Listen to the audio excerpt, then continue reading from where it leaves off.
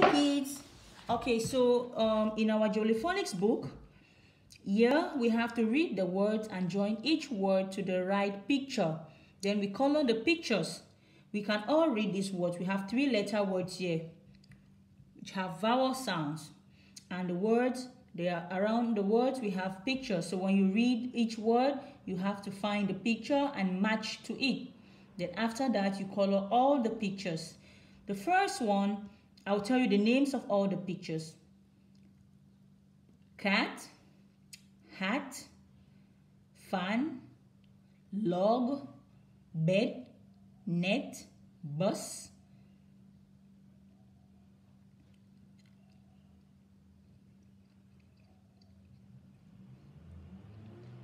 dog,